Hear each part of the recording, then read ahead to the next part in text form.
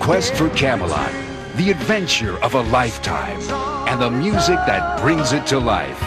Featuring original songs by Academy Award winner Carol Bayer Sager and Grammy winner David Foster.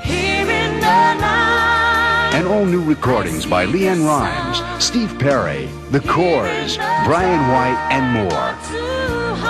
Quest for Camelot, the original motion picture soundtrack album. In stores now.